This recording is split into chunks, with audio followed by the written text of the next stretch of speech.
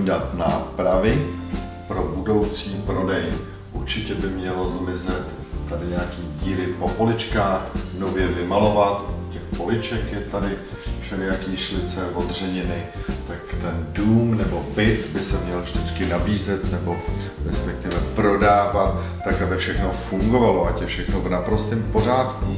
Takže tady bude náprava, změnil bych i barvu. Odření dveře, světla, nemají žárovky.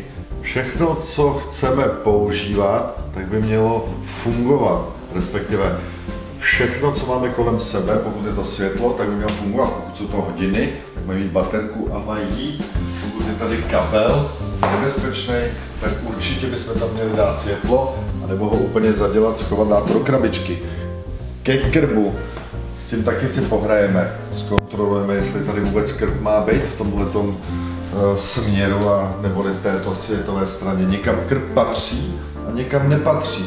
Tak pak děláme nápravy a chceme, aby to vyzařování pro ten prodej aby bylo super, aby to bylo přitažlivý, správný, energeticky takzvaně plný.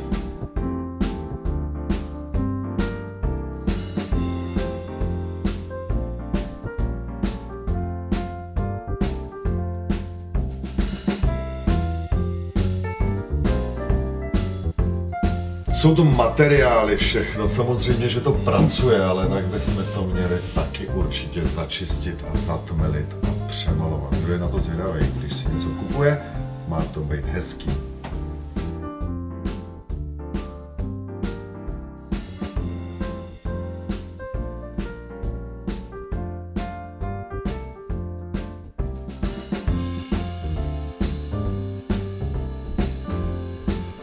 Tento roh potřebuje každopádně zjemnit, aby nevystřeloval tolik na dveře.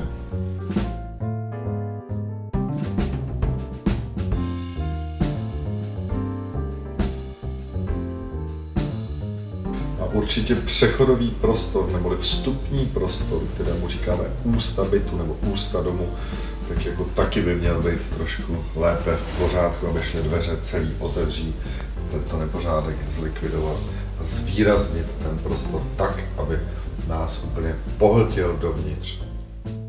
Takže dobrý den, já vás tady vítám za virtuální letní kancelář a Feng Shui 168. Vítám tady Roberta Housku.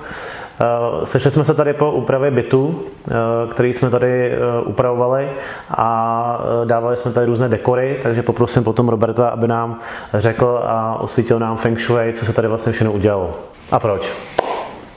Dobrý den, Připravili jsme pro vás byt na prodej a celý jsme to upravili podle Feng Shui, podle pěti elementů přírody. Prodávat takový byt v dnešní době není jednoduché a Feng Shui nám může dost na pomoci, aby jsme měli správně vstup, aby jsme ho měli podpořený k prodeji.